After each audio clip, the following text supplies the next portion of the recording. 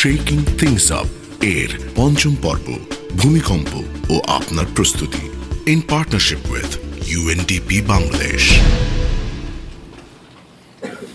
right এতক্ষণ আমরা কথা বলছিলাম ভূমিকম্প নিয়ে রাইট আমরা তিন নাম্বার পর্যন্ত পয়েন্ট পর্যন্ত আমরা এসেছি। সো চার নাম্বার পয়েন্টটা please can you share with the class yes চার নাম্বার পয়েন্ট আমার কাছে যতটুকু মনে হয় যে ব্যক্তিগত যে প্রস্তুতিগুলো আমাদের দরকার যেগুলো আমাদের প্রয়োজন সেগুলো আমাদের কতটুকু আমরা আগে থেকে নিয়ে রাখতে পারি। ব্যক্তিগত প্রয়োজনের দিকে আমার যতটুকু মনে হয় আমরা যতটুকু ইন্টারনেট থেকে শিখেছি বা দেখেছি সেইগুলো জায়গা থেকে আমরা বলতে পারি যে আমরা আমাদের সবার আগে মানসিক শক্তিটা সঞ্চার মানে সঞ্চয় করে রাখতে হবে এবং মনোবল তৈরি করতে হবে যাতে আমরা মোকাবেলার সময় প্রস্তুত আছি। কারণ হচ্ছে এই ব্যাপারগুলো আমরা তো আমাদের দেশে তো বড় কোনো ভূমিকম্প হয়নি আমাদের জানা মতে আমরা দেখিনি।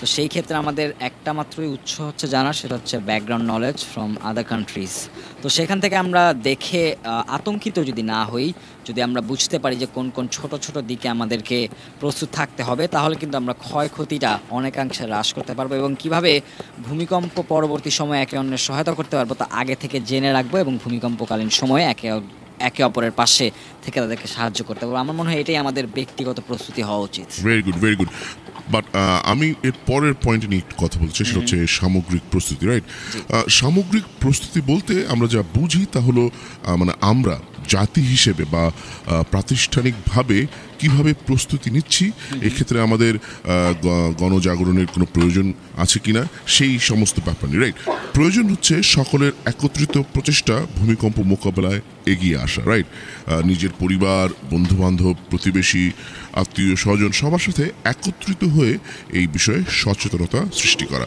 এবং একে অপরকে কীভাবে সাহায্য করতে হবে, কীভাবে সহায়তা করতে হবে ইন্টারনেটে কীভাবে এর প্রচার বৃদ্ধি করতে পারা যায়, কীভাবে ভলেন্টিয়ার বা স্বেচ্ছাসেবক তৈরি করতে তৈরি করতে পারা যায়, এই সমস্ত বিষয় নিয়ে মানে এই সমস্ত ব্যাপারে শক্তভাবে নিশ্চিত হতে হবে এবং মানে যে তথ্য প্রবাহ হচ্ছে তথ্য সরবরাহ হচ্ছে, সেটা একেবারে সঠিক থাকা চাই। তাহলেই আমরা পারব আমাদের একটা সামগ্রিক প্রতিরোধ গড়ে তুলতে। জি জি জি। এটা আমার মনে হয় ইন্টারনেটের ব্যবহারটা আমাদের সবারই আরেকটু স্ট্রংলি এটা ফলো করতে হবে। আমি- আমরা সবাই তো এটার সুবিধাটা ভোগ করছি রাইট আর আমরা সবাই দিনের অনেক বড় একটা অংশ ইন্টারনেটে ব্যবহার করে থাকি। সো আমাদের সেখানে যদি আমাদের কাছে ইনফরমেশনগুলো আসে তাহলে কিন্তু আমরা মোটামুটি ইউজ টু হয়ে যেতে পারব ইনফরমেশনগুলোর আমি নেক্সট পয়েন্ট একটু আমি নিজেই পড়ে শোনাতে চাচ্ছি, সেটা হচ্ছে কাঠামোগত প্রস্তুতি।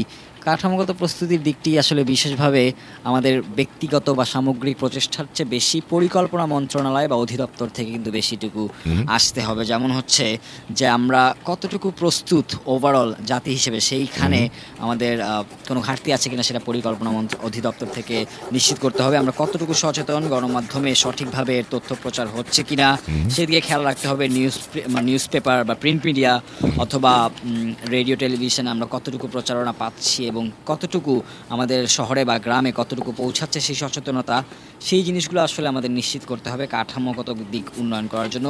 ঝুঁকি তো আসলে অনেক আছে ভূমিকম্পের ক্ষতি ক্ষয়ক্ষতির পরিমাণ অনেক জায়গায় ঝুঁকিটা অনেক বেশি। সো কতটুকু প্রচারণার মাধ্যমে আমরা কমিয়ে আনতে পারি এই ক্ষয়ক্ষতি সেটা আসলে কাঠামোগত কাঠামোগত দিক থেকে উন্নয়ন নিশ্চিত করতে হবে এবং পরিকল্পনা রাখতে হবে একটা সুদূর প্রসারী একটা সুদূর প্রসারী পরিকল্পনা রাখতে হবে যাতে আমরা ক্ষয়ক্ষতির পরিমাণ অনেকাংশে কমিয়ে আনতে পারি। আর আমরা একটা ছোট্ট একটা ব্রেক নিচ্ছি তারপরে আমরা এর পরের পয়েন্টসগুলো নিয়ে কথা বলছি রাইট যখনই আমরা কোনো ধরনের বিপদের সম্মুখীন হই তখন আমাদের মাথা ঠান্ডা রেখে আতঙ্কিত না হয়ে নিজের কাছে যতটুকু রিসোর্স আছে তা নিয়েই আমরা এর মোকাবেলা করার চেষ্টা করি। সেরকমটি আমাদের ভূমিকম্প মোকাবেলাতেও একই রকম হবে। আমরা নিজেকে প্রস্তুত রাখব সবার আগে এবং আগে থেকেই মোকাবেলা করবার রিসোর্স হাতের কাছে রাখব। আমরা সবসময় যে কথাটা বলি সেটা হচ্ছে যে অন্তত একটা বাক্সের মধ্যে কিছু পানি, গুঁড়ো খাবার শুকনো খাবার এবং কিছু জরুরি ওষুধপত্র আর একটা ছোট রেডিও এবং টর্চ লাইট বিশেষত। এই জিনিসগুলো অন্তত একটা ছোট আমি বলছি একেবারে সাধারণভাবে এই জিনিসগুলো রাখা প্রয়োজন। কারণ তখন ধ্বংসাবশেষের পরে এই জিনিসগুলোর অত্যন্ত দরকার হয়ে পড়ে। কীভাবে জানব যে কীভাবে প্রস্তুতি নিতে হবে? কীভাবে কোন কোন বিষয়ে আমরা লক্ষ্য রাখব এবং কীভাবে আমরা এই ক্ষেত্রে আরও অগ্রসর হব?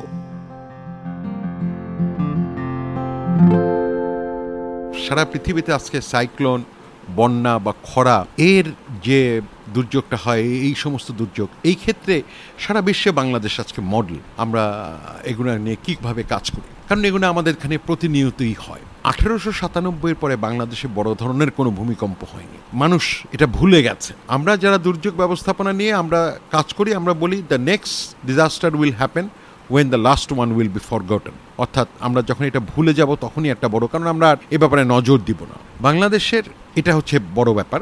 দ্বিতীয়ত, উন্নত দেশসমূহের যে বৈজ্ঞানিক ভিত্তিতে তাদের যে সিসমিক ম্যাপ ট্যাপ তারা যেটা করেছে, বাংলাদেশে এগুনা ছিল না। বাংলাদেশের দুর্যোগ ব্যবস্থাপনা মন্ত্রণালয় এবং ইউএনডিপির সমন্বয়ে আমরা গত দু হাজার ছয় সাল থেকে বাংলাদেশের একটি সিসমিক ম্যাপ ভার্নারেবিলিটি অ্যানালাইসিস অন্তত ষাটটি বড় বড় শহরের করতে সক্ষম হয়েছে। এই ম্যাপগুনা থেকে এটাকে আমরা আমাদের নিয়ে যেতে হবে আমাদের পরিকল্পনার ক্ষেত্রে। কারণ জানেন যে ভূমিকম্পের ফলে কি হয়? সবচেয়ে বড় ক্ষতিগ্রস্ত হয় অবকাঠামোগুলো। এবং এই অবকাঠামো যেহেতু মানুষের উপরে পড়ে বা অন্য কিছুর উপরে পড়ে, তাদের ক্ষতি হয়। আমরা সেই সময় থেকেই আমরা চেষ্টা করেছিলাম আমাদের যে বিল্ডিং কোডটি এই বিল্ডিং কোডটি আবার রিভাইজ করার জন্য এবং মন্ত্রণালয়ের উদ্যোগে এটি রিভাইজ করা হয়েছে। এখন এই বিল্ডিং কোডটি যে রিভাইজ করা হয়েছে, এটাকে আমাদের কার্যকর করতে হবে। অর্থাৎ ওই বিল্ডিং কোড মেনে আমাদের বিল্ডিং বানাতে হবে। সেটা যদি মেনে, আমরা না মেনে যদি আমরা বিল্ডিং বানাই, তাহলে পরে আমাদের কিন্তু ঝুঁকি বেড়ে যাবে। আমাদের নগরায়নকে পরিকল্পনার মধ্যে আনতে হবে। তাহলে শুধুমাত্র প্রস্তুতির উপায় এবং মোকাবেলার উপায় জেনে রাখলেই কি হবে? আমাদের কি সেই ক্ষেত্রে মক ড্রিলের ব্যবস্থা করা যায়? কীভাবে সেটা সম্ভব? আমার নিজের কাছেও এটার উত্তর নাই। আমরা একটা কম্পিউটার বেস সিমুলেশন করেছিলাম হয়তো জানেন ডক্টর মাকসুদ কামালের নাম যদি আপনি শুনে থাকেন ঢাকা বিশ্ববিদ্যালয়ের মাকসুদ কামাল ভাই সহ, আমরা সেটা ইউএনডিপি আমাদেরকে সাহায্য করেছিল। আমি তখন ওদের একটা প্রকল্পে কাজ করছিলাম মন্ত্রণালয়ের সাথে। আমরা দেখেছিলাম যে ঢাকা শহরে এখন যে খোলা জায়গাগুলো আছে, আমি যদি সরোয়ার্দী উদ্যানকে ধরে নেই, আমি যদি পল্টনকে ধরে নেই, আমি যদি মিরপুর বা ঢাকা স্টেডিয়ামকেও ধরে নেই ফার্মগেটের পার্ককেও ধরে নিলাম ছোটোখাটো পার্কগুলোকে ধরে নিয়েও এবং ঢাকা শহরের যে জনসংখ্যা, সেটাকে ধরে নিয়েও আমি, আমরা দেখেছিলাম যে সব মানুষ যদি বের হয়ে আসে, তাহলে একজনের উপরে আরেকজনের দাঁড়াবার ছাড়া আর কোনো পথ নাই। এটা আমাদের দুর্ভাগ্য, এছাড়া আমার আর কিছুই বলার নেই। মক ড্রিল সম্ভব। সেক্ষেত্রে আমরা শিখতে পারব একদম ব্যক্তিগত অভিজ্ঞতার জায়গা থেকে। আমরা পরিস্থিতির মোকাবেলায় প্রস্তুত হতে পারব নিখুঁতভাবে। অন্তত অনেকটুকুই। আমাদের দেশে দুর্যোগ মোকাবেলার সংস্কৃতি কিছুটা হলেও দুর্বল। অনেক ক্ষেত্রে আমরা এইসব বিষয়ে অনীহা প্রকাশ করি। আর তাই আমাদের কাছে অনেক বেশি জরুরি মানসিক প্রস্তুতির বিষয়টি। ভূমিকম্প হলে আতঙ্ক হওয়াটাই স্বাভাবিক, কিন্তু ভূমিকম্পের বিষয়ে যদি আমাদের সাধারণ মানুষের যদি সেরকম জ্ঞান থাকে এডুকেশন থাকে, শিক্ষা থাকে, তাহলে এইটাকে আমরা সেই আতঙ্কটাকে অনেক প্রশমিত করতে পারি। আমাদের এই ঢাকা শহর যেভাবে অপরিকল্পিত এবং অনিয়ন্ত্রিতভাবে গড়ে উঠেছে, সেখানে আমরা এই নগরীকে রাতারাতি আমরা পরিবর্তন করতে পারব না। কিন্তু এখানে জানমালের ক্ষয়ক্ষতি এবং এই ভয় ভীতিটাকে আমরা অনেক অংশে কমিয়ে আনতে পারি। যদি সরকার থেকে যদি সুনির্দিষ্ট দিক নির্দেশনা আসে, আমি মনে করি যে আমাদের দুই থেকে তিন মাসের যদি একটা পরিকল্পনা নেওয়া যায়, সেটা হচ্ছে যে সুনির্দিষ্ট একটা নির্দেশনামা এবং এটা অ্যানিমেটেড প্রোগ্রামের মাধ্যমে যদি টিভিতে যদি এটা দেখানো হয় যে কোন জায়গাগুলা স্কুল, কলেজ, বাসস্থানে কোন জায়গাগুলা নিরাপদ আশ্রয়স্থল এবং ভূমিকম্পের কম্পন যখনই একজন ব্যক্তি অনুভব করবে, তখন সে কীভাবে সেই আশ্রয়স্থলে যাবে, যারা বাইরে থাকবে, তারা কীভাবে রাস্তায় যারা থাকবেন, তারা কীভাবে নিরাপদ জায়গায় যাবেন এবং সেটা যদি এই তিন মাস প্রোগ্রামের মধ্যে যদি এই ঢাকা নগরী, সিলেট, চিটাগাং এবং অন্যান্য যেসব এলাকায় ভূমিকম্পন প্রবণ এলাকা, সেইখানকার নগরবাসীকে যদি এই ব্যাপারে সচেতন করে তোলা যায় এবং শুধু সচেতন করলেই হবে না, আমাদের মানসিকভাবে প্রস্তুত করতে হবে এবং সেই মানসিক প্রস্তুতির জন্যে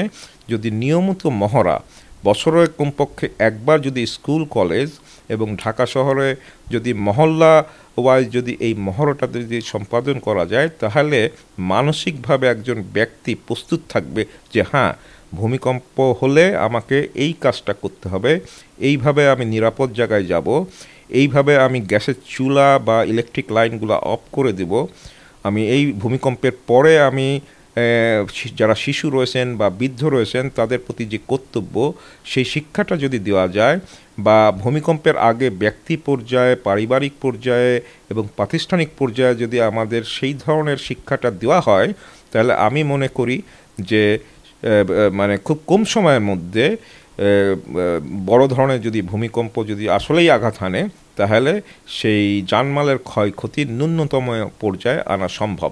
এবং আসলে ভূমিকম্পতে আতঙ্ক যত হবে, যত বাড়বে তত ক্ষয়ক্ষতি বেশি হবে। অতএব এই ব্যাপারে সরকারকে সবচাইতে আগে যে জিনিসটার উপরে গুরুত্ব দেওয়া উচিত, যে সেই ভূমিকম্পের সেই ভয় আতঙ্ককে পশু মানে কমিয়ে আনা এবং কমিয়ে আনার জন্যে এরকম কতগুলো ছোটোখাটো কৌশল অবলম্বন করলে এটা খুব সহজেই এটা কমে আসবে। তাহলে মানসিক প্রস্তুতির বিষয়ে গুরুত্ব বৃদ্ধি করতে হবে। আমাদের সবার মাঝে সেই বিষয়গুলো আরও বেশি প্রচলিত করতে হবে যে আমরা যদি প্রস্তুতির বিষয়গুলো নিয়ে অবহেলা করি, তাহলে ক্ষয়ক্ষতির পরিমাণ কমিয়ে আনা সম্ভব হবে না।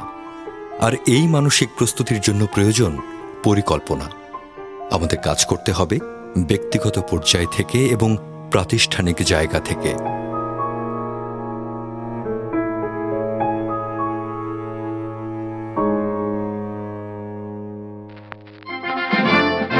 শুনছো রেডিও স্বাধীনের ছয় এপিসোডের mini series shaking things up ভূমিকম্প সম্পর্কে সব তথ্য ঠিকঠাক জানতে আর তোমার মেধা যাচাই করতে কুইজে অংশ নাও আর জিতে নাও আকর্ষণীয় পুরস্কার। আজকের কুইজটি হলো, ভূমিকম্পের আগে প্রস্তুতির যে মহড়া বা ড্রিল থাকে, তাকে কি বলে? Option A mock drill option B super drill শুনতে থাকো আর সঠিক উত্তর জানাতে টাইপ করো আর এস তোমার নাম এরপর এ অথবা বি লিখে পাঠিয়ে দাও দুই শূন্য এক শূন্য নম্বরে